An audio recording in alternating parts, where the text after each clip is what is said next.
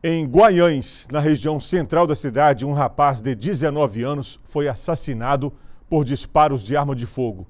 Segundo a Polícia Militar, a vítima, identificada pelo nome de Erlon José da Cruz Rocha, tinha passagens por participação no crime de tráfico de drogas. Três pessoas estão sendo procuradas pela PM. Elas subiram a pé até a rua onde a vítima estava sentada e os criminosos dispararam várias vezes.